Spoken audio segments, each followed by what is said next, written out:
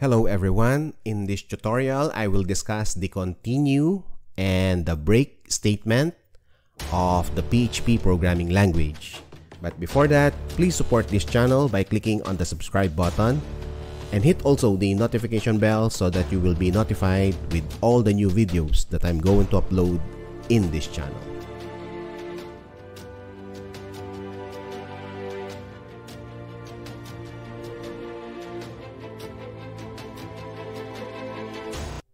And so discontinue and break statements of the PHP programming language are very easy to use.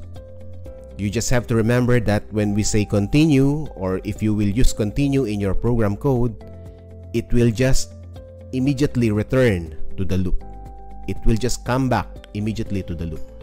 As you can see here in line 17 of our example here, it will just continue or it will just go back to line 14 so when this statement, line 17, is executed, it will immediately go to 14. Meaning to say, it will not execute 18, 19, 20, 21, and 22 because it will immediately return to 14. The other one, which is the break, this one jumps out of the loop. Meaning to say, it will get out of the loop immediately so as you can see here in our example here in line 30, so there's a loop here. From 28 to 34, there's a loop. So it will loop here for 5 times. But when this break is executed, what will happen is that it will immediately go out of the loop and it will execute 35. But we don't have a program here, so that will be the end of the program. So that is what the break will do. It will not execute anymore 31, 32, and 33. So that's how the break is working. If you will run this program, this is the output of all this program here. The first part here, it will print 1, 2, 4, and 5. And if you will notice, it will not print number 3. So from line 14 or 13 up to line 23, that is the program for this 1, 2, 4, and 5. The output is 1, 2, 4, and 5. So this is the program for it. It is supposed to be going into the loop or it will go supposed to be into the loop for 5 times. But based on the code, if x reaches 3, initially it is 1, so when it reaches 3, what will happen is that it will increase the x so that it will become 4 and then continue. So what will happen is that when this is executed, it will go to the while like this. But if x is not equal equal to 3, meaning to say if it is not equal to 3, meaning to say it will just go to else, else and then 20 which is echo dollar $x. So it will continue printing the other numbers and after which it will just increase. So in the in the beginning of the execution of this, x is equal to 1 and so 1 is less than equal to 5. So that is true. And then line 15, 1 equal equal 3, the answer here is false. And so since it is false, it will go to else which is 19 right? Because if it is true, it will go to 16. But 15 is false. x equal equal 3, 1 equal equal 3. The answer is false. So it will go to else. And then it will print 1. So it will print 1 there. And then we have to increase the x so that it will become 2. So it will look back again in 14. 2 less than equal 5, yes. 2 equal equal 3, false. So it will go to 19 again and then it will print 2. So the printing is 2 here. So line 20 will print 2 and then 22 it will increase again to 1. It will make it 3 and it will return back to 14 which is 3. 3 less than equal 5. Yes. Then it will execute 15. 3 equal equal 3. Yes. The answer is yes. So it will go now to 16. It will make it 4 before it is 3 so now it will make it 4 and then continue So this is what I'm saying a while ago. Continue will just return back immediately to 14.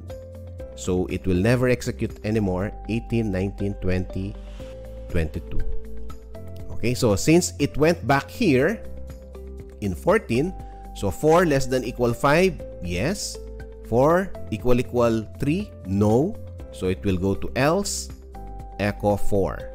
Echo dollar $x which is 4. So the 4 is there. And so on until it reaches 5. So that's how the continue is working. And then the last part or the last code that we have here using the break 1 and 2 it will just print 1 and 2 so it's supposed to loop for 5 times but it only printed 2 how that happened so because of the break here in 30 so initially x is 1 so it will go to the loop. And then if 1 equal equal 3 no. So it will go here in 32 so it will just print 1 and then we have to increase 1 by 1 so dollar $x plus plus that means it's 2 2 less than equal 5 yes. So it will go up again here in 28 so 2 equal equal 3 no. So it will print again 2 or it will print again the value of x which which is now 2 so we have the 2 there. So this time we have to increase x by 1 so x is equal to 3 now. So 3 less than equal 5 yes. So it will come back again in 28 and then it will execute 29 so 3 equal equal 3 yes. The answer is yes so it will go to 30 because the answer here is yes or true so it will go to 30 so break again when it reaches break or it, when it execute break it means it will get out of the loop. So it will immediately go out. It will execute line 35 of which we don't have a code. So that's the end of the program. And so the output is only 1 and 2 it never printed 3 4 and 5 because we provide in the code or replace in the code that when x is 3 break meaning get out of the loop. We can use the continue and the break using the for statement also. Another use of the break is to jump out of the switch statement. I have a tutorial video about the switch statement wherein you can find that in this channel. And so I have discussed there already the break but this time using the switch statement which is somewhere here. So the break statement can be used in the switch statement which is to jump out of the switch statement and to jump out of the loop. So for you to understand also the loop statements, the do while, the while, and the for statements, you can watch these videos so that you will have a better understanding of the loop statements. And so that is just how to use the continue and the break. So continue will just return immediately to the loop, whereas the break, it will get out immediately of the loop. I hope you have learned something new in this tutorial video. Thank you very much for watching and see you on my next one.